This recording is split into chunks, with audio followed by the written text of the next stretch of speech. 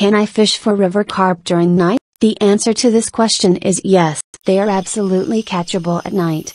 Some fishermen believe that the moon phase has a role, and that you should fish during the full moon. Others argue that it is unimportant. You have nothing to lose by giving it a try in your area. During the warmer months, night fishing is more productive.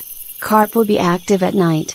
Some beginners neglect to bring a flashlight if possible, avoid using ones that are excessively bright because they will frighten the fish.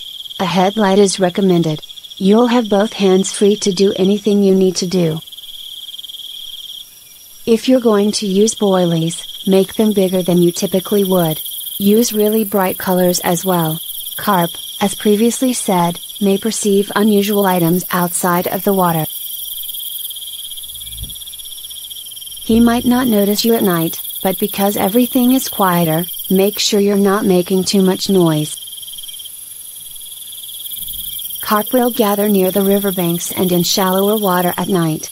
Use this to your advantage, as spar casting will not be required.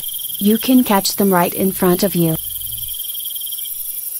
If you're going night fishing for the first time, be sure you have the proper equipment.